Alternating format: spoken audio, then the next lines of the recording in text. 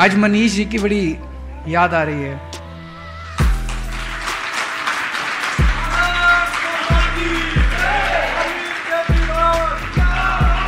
ये उनका सपना था। ये लोग चाहते हैं कि दिल्ली की शिक्षा क्रांति खत्म हो जाए। उसे खत्म नहीं होने देंगे। उनका सपना था कि हर बच्चे को अच्छी से अच्छी शिक्षा मिलनी चाहिए।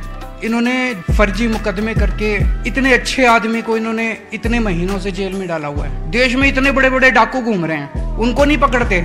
उनको मनीष सिसोदिया को जेल में इसलिए डाला हुआ है कि वो अच्छे स्कूल बना रहा है। बच्चों को अच्छी पढ़ाई दे रहा है। उनको तकलीफ़ हो रही है कि इस तरह से अच्छे अच्छे स्कूल बन रहे हैं। आम आदमी पार्टी का प्रचार हो रहा है चारों तरफ़। मैं जहाँ भी जाता हूँ, पूरे देश के अंदर सब एक ही बात करते हैं कि जी स्कूल बड़े अच्छे बन गए दिल्ली के। स्कूल बड़े अच्छे बन गए दिल्ली के।